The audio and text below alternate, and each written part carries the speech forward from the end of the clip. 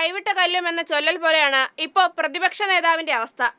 B J പിയുമായി ഒരു താളത്തിൽ ഒത്തുചേർന്ന് പോകുമായിരുന്നു. അപ്പോഴതാ സജി ചെറിയാൻ ഭരണഘടനയെ വിമർശിക്കുന്നു. തീർച്ചയായും പ്രതികരിക്കണമല്ലോ. ഓടിച്ചെന്ന് സജി ചെറിയാന്റെ ഭരണഘടനാ വിമർശനം. കോളേജ് കാലം മുതൽ വായിച്ചു തുടങ്ങിയെന്ന് പ്രതിപക്ഷ നേതാവ് തന്നെ അവകാശപ്പെടുന്ന വിചാരധാരയുമായി അങ്ങ് കൂട്ടിക്കെട്ടി. പിന്നെ തിരിഞ്ഞു നോക്കേണ്ടി വന്നിട്ടില്ല. അതാ സതീശൻ പങ്കെടുത്ത ആർ എസ് എസ് പരിപാടികളുടെ ചിത്രവുമായി ദേ വരുന്നു. നിരനിരയായി ബി ജെ പി നേതാക്കൾ.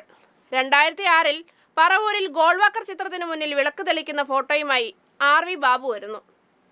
രണ്ടായിരത്തി പതിമൂന്നിലെ ആർ എസ് എസ് പരിപാടിയിൽ പങ്കെടുത്ത ഫോട്ടോയുമായി സദാനന്ദൻ മാസ്റ്റർ വരുന്നു. ജഗ പോക. ഒരു ദിവസം മുറിയടച്ചിരുന്നപ്പോൾ ആരോ വി എസ് രണ്ടായിരത്തി പതിമൂന്നിൽ ആർ എസ് എസ് പരിപാടിയിൽ പങ്കെടുത്തുവെന്നും പറഞ്ഞ് ഫോട്ടോയുമായി വീഡിയോയുടെ രക്ഷയ്ക്കെത്തി. എവിടെ? ഒരു രക്ഷയുമില്ല. വി എസ് പോയിട്ട് വിവേകാനന്ദൻ ആർ എസ് എസിന്റെ കുത്തകയല്ല എന്നും പ്രസംഗിച്ച് അവരെ പ്രകോപിപ്പിച്ചിട്ട് വന്നതിന്റെ മൊത്തം പ്രസംഗം തന്നെ പുറത്തു വന്നു.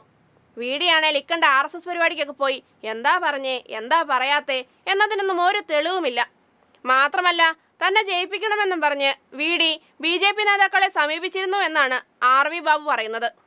ഇങ്ങനെ തോളോട് തോൾ ചേർന്ന് നടന്ന ഉറ്റ സുഹൃത്തിനെ അങ്ങനെ ഒറ്റയടിക്ക് തള്ളി പറഞ്ഞ് സി പി എമ്മുമായി ചേർത്ത് വെച്ചാൽ ആർക്കായാലും സഹിക്കുമോ കോളേജ് കാലം മുതൽ വിചാരധാര അരച്ചു കലക്കി കുടിച്ചിട്ട് ആവശ്യമില്ലാത്തതൊക്കെ എടുത്ത് അലക്കിയിട്ട് സംഘികൾ കേസും കൊണ്ട് പോയപ്പോൾ ശക്തമായി നേരിടുമെന്ന് പറഞ്ഞിട്ട് എന്ത് കാര്യം? ചക്കിന് വെച്ചത് കൊക്കിന് കൊണ്ടു എന്ന് പറയുന്നതാവും നല്ലത്. തങ്ങൾ സുഹൃത്തുക്കൾക്കിടയിൽ ഉണ്ടായ ഒരു സൗന്ദര്യ പിണക്കത്തിലേക്ക് വി എസിനെയും ശൈലജ ടീച്ചറിനെയും ഒക്കെ പിടിച്ചിട്ട് ഏഷ്യാനെറ്റ് അടക്കമുള്ള മാധ്യമങ്ങൾ വീഡിയോയെ ന്യായീകരിക്കാൻ ഒരു ശ്രമം നടത്തി നോക്കി. എവിടെ? ഒരു രക്ഷയുമില്ല. ഇതിപ്പോൾ വീഡിയോ മാത്രമല്ല മുനീറും ബൽറാമും അടക്കം പലരും ആർ എസ് എസ് പാളയങ്ങളിൽ അതിഥിയായി ചെന്നതിന്റെ ചിത്രങ്ങൾ സോഷ്യൽ മീഡിയ വഴി പറക്കുകയാണ്. ഏഷ്യാനെറ്റിന്റെ അജയഘോഷും പി ജി സുരേഷ് കുമാറുമൊക്കെ എത്ര വളച്ചൊടിക്കാൻ നോക്കിയാലും വലിയ റിസൾട്ടൊന്നും ഉണ്ടാവുമെന്ന് തോന്നുന്നില്ല. ഇടതുപക്ഷവും വലതുപക്ഷവും തമ്മിൽ നല്ല വ്യത്യാസമുണ്ടെന്ന് പൊതുജനങ്ങൾക്ക് നല്ല വ്യക്തമായിട്ടറിയാം.